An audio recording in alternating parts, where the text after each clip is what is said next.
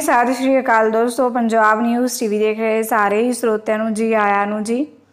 ਹੁਣੇ ਹੁਣੇ ਪੰਜਾਬ ਦੇ ਡੀਜੀਪੀ ਦਿਨਕਰ ਗੁਪਤਾ ਬਾਰੇ ਆਈ ਵੱਡੀ ਖਬਰ ਖਬਰ ਨੂੰ ਸ਼ੁਰੂ ਕਰਨ ਤੋਂ ਪਹਿਲਾਂ ਜਿਨ੍ਹਾਂ ਨੇ ਚੈਨਲ ਨੂੰ ਸਬਸਕ੍ਰਾਈਬ ਨਹੀਂ ਕੀਤਾ ਸਬਸਕ੍ਰਾਈਬ ਕਰ ਲੈਣ ਤੇ ਵੀਡੀਓ ਨੂੰ ਅੱਤਵਾ ਲਾਈਕ ਐਂਡ ਸ਼ੇਅਰ ਵੀ ਕਰ ਦੇਣਾ ਤੇ ਜਿਨ੍ਹਾਂ ਨੇ ਆਨਲਾਈਨ ਸ਼ਾਪਿੰਗ ਕਰਨੀ ਹੈ ਲਿੰਕ ਡਿਸਕ੍ਰਿਪਸ਼ਨ 'ਚ ਉੱਥੇ ਜਾ ਕੇ ਤੁਸੀਂ ਆਨਲਾਈਨ ਸ਼ਾਪਿੰਗ ਕਰ ਸਕਦੇ ਹਾਂ। ਪੰਜਾਬ ਦੀ ਜੈਸੇ ਆਏ ਦਿਨ ਹੀ ਕੋਈ ਨਾ ਕੋਈ ਜਿਹੀ ਖਬਰ ਸਾਹਮਣੇ ਆ ਰਹੀ ਜਿਸ ਪਰ ਲੋਕਾਂ ਵੱਲੋਂ ਸੋਚਿਆ ਵੀ ਨਹੀਂ ਗਿਆ ਸੀ। ਜਿੱਥੇ ਅਗਲੇ ਸਾਲ ਹੋਣ ਵਾਲੀਆਂ 2022 ਦੀਆਂ ਵਿਧਾਨ ਸਭਾ ਚੋਣਾਂ ਵਿੱਚ ਬਹੁਤ ਘੱਟ ਸਮਾਂ ਬਚਿਆ ਹੈ। ਜਿੱਥੇ ਹੋਣ ਵਾਲੀਆਂ ਵਿਧਾਨ ਸਭਾ ਚੋਣਾਂ ਦੀ ਤਿਆਰੀਆਂ ਕੀਤੀਆਂ ਜਾ ਰਹੀਆਂ, ਉੱਥੇ ਪੰਜਾਬ ਦੀ ਸਿਆਸਤ ਵਿੱਚ ਉਥਲ-ਪੁਥਲ ਵੀ ਵੇਖੀ ਜਾ ਰਹੀ ਹੈ।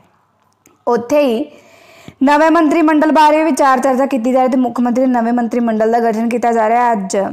ਇੱਥੇ ਨਵੇਂ ਚਿਹਰਿਆਂ ਨੂੰ ਐਲਾਨਣ ਦਾ ਇੰਤਜ਼ਾਰ ਕੀਤਾ ਜਾ ਰਿਹਾ ਸੀ। ਉੱਥੇ ਪਿਛਲੇ ਦਿਨੀ ਮੁੱਖ ਸਕੱਤਰ ਵਿਨੀ ਮਹਾਜਨ ਨੂੰ ਇਸ ਅਹੁਦੇ ਤੋਂ ਹਟਾ ਦਿੱਤਾ ਗਿਆ ਹੈ। ਹੁਣ ਪੰਜਾਬ ਦੇ ਡੀਜੀਪੀ ਦਿਨਕਰ ਗੁਪਤਾ ਬਾਰੇ ਇੱਕ ਵੱਡੀ ਖਬਰ ਸਾਹਮਣੇ ਆਈ। ਪ੍ਰਾਪਤ ਜਾਣਕਾਰੀ ਅਨੁਸਾਰ ਡੀਜੀਪੀ ਦਿਨਕਰ ਗੁਪਤਾ ਵੱਲੋਂ ਇੱਕ ਮਹੀਨੇ ਦੀ ਛੁੱਟੀ ਤੇ ਜਾਣ ਦੀ ਅਪੀਲ ਕੀਤੀ ਗਈ ਸੀ। ਉੱਥੇ ਪੱਤਰ ਵਿੱਚ ਉਹਨਾਂ ਵੱਲੋਂ ਕੇਂਦਰੀ ਡੈਪੂਟੈਂਸ਼ਨ ਲਈ ਛੁੱਟੀ ਮੰਗੀ ਗਈ ਸੀ। ਹੁਣ ਉਹਨਾਂ ਦੀ ਜਗ੍ਹਾ ਤੇ ਪੰਜਾਬ ਸਰਕਾਰ ਵੱਲੋਂ ਇਕਬਾਲਪ੍ਰੀਤ ਸਿੰਘ ਸਹੋਤਾ ਨੂੰ ਪੰਜਾਬ ਦੇ ਨਵੇਂ ਡੀਜੀਪੀ ਦੇ ਅਹੁਦੇ ਵਾਸਤੇ ਨਾਮ ਘੋਸ਼ਿਤ ਕਰ ਦਿੱਤਾ ਗਿਆ ਹੈ, ਜੋ ਪੰਜਾਬ ਦੇ ਡੀਜੀਪੀ ਵਜੋਂ ਸਾਰਾ ਕੰਮ ਦੇਖਣਗੇ। ਜਿਨ੍ਹਾਂ ਜਿੱਥੇ ਉਹਨਾਂ ਨੂੰ ਡੀਜੀਪੀ ਦਾ ਸਾਰਾ ਕਾਰਜ ਭਾਰ ਦੀ ਜ਼ਿੰਮੇਵਾਰੀ ਦਿੱਤੀ ਹੈ, ਨਵੇਂ ਬਣੇ ਡੀਜੀਪੀ ਇਕਬਾਲ ਸਿੰਘ ਸੋਤਾ ਨੂੰ ਸਾਲ 1988 ਬੈਚ ਦੇ ਅਧਿਕਾਰੀ ਹਨ, ਜਿਨ੍ਹਾਂ ਨੂੰ ਹੁਣ ਨਵੇਂ ਡੀਜੀਪੀ ਵੱਲੋਂ ਤਨਾਇਤ ਕੀਤਾ ਗਿਆ ਹੈ। ਪ੍ਰਾਪਤ ਜਾਣਕਾਰੀ ਅਨੁਸਾਰ ਉਹਨਾਂ ਦਾ ਨਵਾਂ ਡੀਜੀਪੀ ਇਸ ਲਈ ਤਨਾਤ ਕੀਤਾ ਕਿਉਂਕਿ ਡੀਜੀਪੀ ਦਿਨਕਰ ਗੁਪਤਾ ਵੱਲੋਂ ਛੁੱਟੀ ਦੀ ਮੰਗ ਕੀਤੀ, ਉਹਨਾਂ ਦੀ ਪਤਨੀ ਵਿਨੀ ਮਹਾਜਨ ਨੂੰ ਅਹੁਦੇ ਤੋਂ ਹਟਾਏ ਜਾਣ ਤੋਂ ਬਾਅਦ ਸਾਰੇ ਲੋਕਾਂ ਦੀ ਨਜ਼ਰ ਡੀਜੀਪੀ ਦਿਨਕਰ ਗੁਪਤਾ ਤੇ